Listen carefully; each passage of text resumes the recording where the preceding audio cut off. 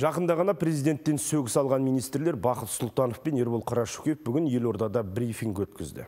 Қос министр қат боп тұрған қант тапшылығын шешу үшін отандық шикізаттан құм шекер өндіріп, сол арқылы импортқа тәуелділікті азайтуымыз керек дейді. Қарашөкеев пен Сұлтанов та дүкенге барып, бағаны көздермен көрген сыңайлы.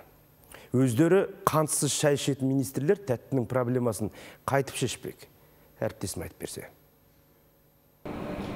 Президенттен сөгіс алған қос министрдің бүгінгі брифингі үш сағатқа созылды. Баяндамасын бірінші болып бастаған Бақыт Сұлтанов қант тақырыбына кеңінен тоқталды. Вице-премьердің айтуынша қазіргі мақсат отандық шикізаттан қант өндірісін арттырып, сол арқылы импортқа тәуелділікті төмендету. Сондай-ақ Сұлтанов елдегі қант зауыттары Үндістан мен Бразилиядан келетін шикізатпен қамтамасыз етілетінін айтты. Ал ауыл шаруашылығы министрі Ербол Қарашөкеев болса, елде қант қоры жеткілікті дейді. Тек Ресей тарапы тәтті өнімнің экспортына шектеу қойғалы бері Қазақстанға қант жеткізу уақыты 90 күнге созылып кетті деді. Брифинг барысында журналистер қос министрге қанттың бағасын білесіз бе деп сұрақ қойды.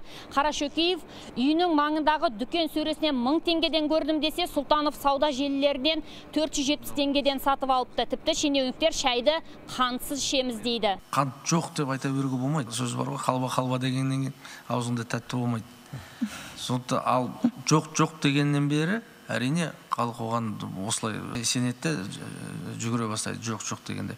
Екі апта бұрын мен ірі желіге барып өзім қант сатып алдым. төрт жүз жетпіс теңге жаңағы дүкенде болған.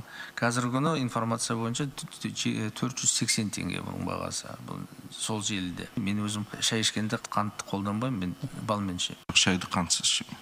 Ал Бақыт Сұлтановтың айтуынша базар иелері де баға саясатына жауапты болады. Министрдің дерегінше бас прокуратура мамыр айында 122 базарды тексеріп, қолдан тапшылық жасап отырғандарды анықтапты. Бұл проблеманы шешу үшін министрлік бас прокуратурамен және мүдделі мемлекеттік органдармен бірлесіп, заңнамаға түзетулер ұсынған.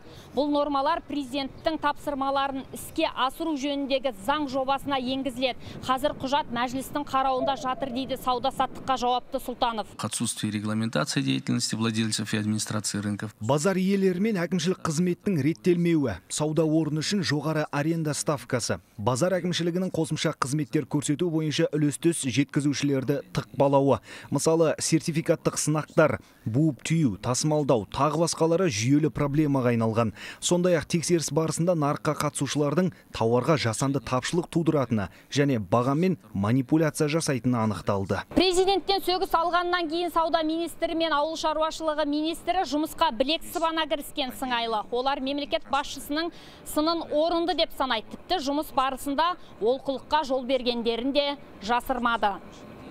Аршат Әділжанқызы Дидар Елеу, Информ бюро, Нұрсұлтан.